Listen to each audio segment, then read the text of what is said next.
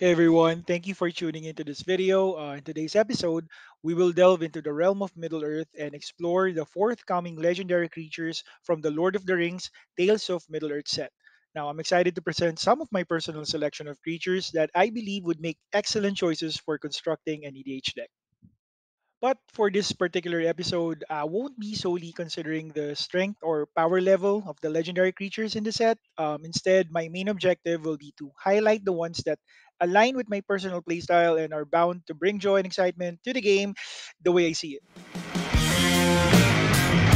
Okay, so I've chosen my top five legendary creatures, but before we get to that, uh, I just want to share first a couple of honorable mentions. So first off, I have um, Merry, Esquire of Rohan, and Pippin, Guard of the Citadel. So I think these two cards are very, very um, you know, simple but very effective. I just wished that they had a partner with mechanic, because if Merry and Pippin, you know, are my partner commanders, I think it would have been a very fun Jeskai commander because I think they kind of complement each other's ability. Another creature that uh, is an honorable mention for me is Witch King of Angmar. So I really like this card because it's a free discard outlet from the command. So well, not really free because you have to cast him for five mana, but you know, discard a card for free and then it protects itself. It gains indestructible until end of turn. You have to tap it though, but that's okay because you just need the discard outlet. So you can have your Madness Commander. You have a bunch of reanimator strategies that you can use with this creature. You know, I really like it and really looking forward to creating a deck using this as my commander. All right, at number five, I have Bilbo Retired Burglar. So whenever it enters or leaves the battlefield, the ring will tempt me. And then whenever it deals combat damage to a player, I get to create a treasure token. So the way I see this commander, I think it's a very good blink um, commander. You know, I just have to cast my Ghostly Flicker or pair it up with a Deadeye Navigator. And I can, I can, I'll be able to trigger it multiple times until I get all the abilities of the ring. So making it, you know, really a good value commander out of the command zone Plus, there's a bonus that I get to create a treasure token. So, you know, if you want to go through the treasure uh, token route, that's okay as well. But for me, basically, it's a great value out of the command zone. Um, I'm, I'm not really looking to hit 21 commander damage using Bilbo, but just the value it gives me out of the command zone. Plus, it's only three mana, so it's really easy to cast, really easy to recast. Uh, so that's my number five commander for this set. All right, next I, uh, at number four, um, I have Aragorn the Uniter. So this is a four-color commander with a bunch of abilities. So from a certain point of view, it kind of looks like it's an OP commander because you have access to four colors. Then each color has its different trigger. Um, I especially like the red or the green part because uh, I think they're really aggressive uh, abilities, especially if you're using this for duel commander. For one v one, you know, dealing three damage and giving a creature plus four plus four, can, that can easily get out of hand. But I kind uh, for me, I like it because of the flexibility it offers. You know, I can go the uh, Tokinator route. I can go the top deck manipulation route because I have Scry 2 or I can even make it a you know a fast Voltron as well because I can keep on giving it plus four plus four by just using a couple of free green spells. So I like it because of the flexibility. I'm I'm not seeing it as a very broken commander yet. Maybe it is. Maybe I'm just not seeing it.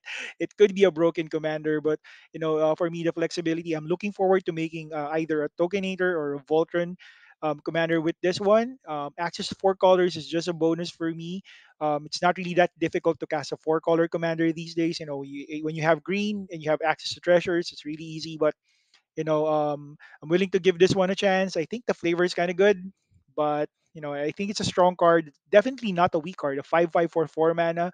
So Aragorn is my number four. Okay, at number three, I have Gimli, Mournful Avenger. So, oh man, the design of this card is just so sad. You know, I'm not sure if Gimli deserves this kind of ability, but from a commander's perspective, or from a commander um, deck perspective, and I think this is a very good card because he gets big easy. So, uh, whenever another creature you control dies, put a counter on Gimli.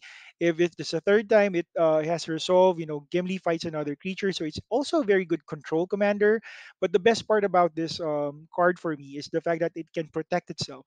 Now, as long as two or more creatures died under your control this turn, it becomes indestructible.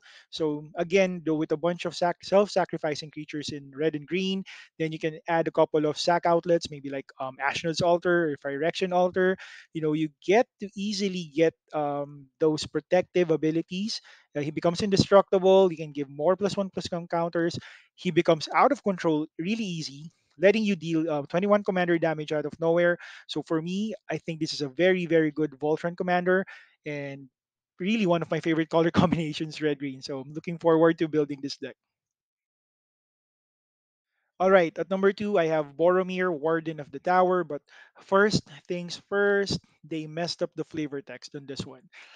One does not simply miss the flavor text when it comes to Boromir. Man, Sean Bean will be mad at the flavor text. But looking past the flavor text, I think this is a very you know, simple but very powerful card. Um, the first ability, whenever an opponent casts a spell, if no mana was spent to cast it, counter that spell. So this is a mono white Linvala for me. I'm kind of seeing if you have Knowledge Pool and Omen Machine, you can practically lock the game. You know, it gives you th- that kind of advantage uh, because nobody can play and uh, play any spells anymore. So it's a stacks commander. You can put it as your commander, put it in the 99 as part of your stacks deck.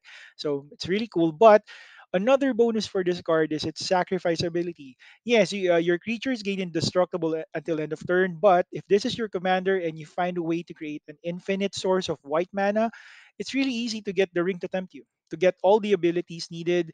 You know, just you know by uh, casting and recasting Boromir, sacrifice it until you you know you get all of the abilities of the rings. So that's why I like this card. But again, they messed up the flavor text.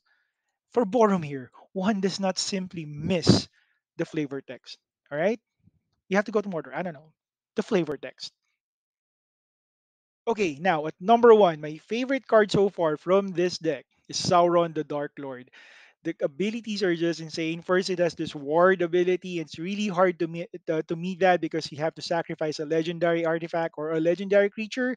Most of the time, that might be an opponent's commander. And then, whenever an opponent casts a spell, amass Orcs one, that's whenever an opponent casts a spell. Around the table, if you have three opponents, you know it will trigger each time they cast a spell. So either you keep on getting a tokens that you can keep on sacrificing to your sacrifice outlet, or you get this very, very big orc army creature. And then if that orc army creature attacks, it will trigger the next ability. Whenever an army you control deals combat damage to a player, the ring tempts you. So it's really easy to get all of the abilities of the rings. Just imagine if you have an army um, tribal deck. So it's really easy to get that ring tempts you. It will trigger the next ability, which is whenever the ring tempts you, you may discard your hand, and if you do, draw four cards.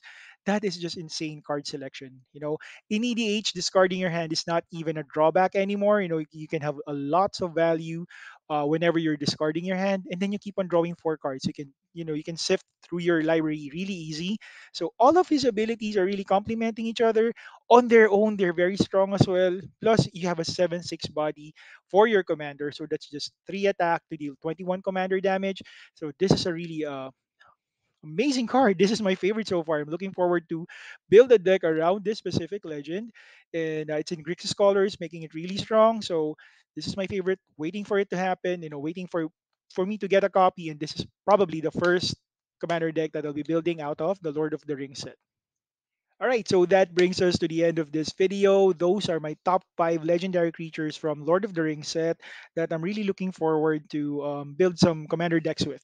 So uh, um, they're not necessarily the strongest in the set. I don't see them as the strongest commanders, but they kind of fit my playstyle. Those are my favorites so far, and hopefully I can uh, create a couple of good decks for you. No, I'll be putting them on this uh, this channel soon once I get the full spoilers. I get to play test some of them um, you know you might have uh, your uh, you know your preferred commanders as well. If you do let me know you know share me your thoughts. Let me know which ones um which other um, legendary creatures from this set you're looking really looking forward to or if you have any ideas on how to build these five uh, legends if you have other um, you know ideas on how to create uh, great or fun decks with let me know share them in the comments. Would really appreciate that. Um, once again thank you very much for joining me in this episode. I know it I think this is the longest video so far I've made in this channel. It's kind of weird because uh, the name of the channel is Quick Deck Techs, but this one's not really quick. But anyway, I hope you enjoyed this video. And uh, soon, if I can create deck decks for these Lord of the Rings characters, uh, you know, I hope you enjoyed those too. So once again, this is Hans. Thank you for joining me. Have a great night. Have a great day uh, wherever you are right now. You know, you know, keep safe and thank you. Catch you in my next deck. Deck.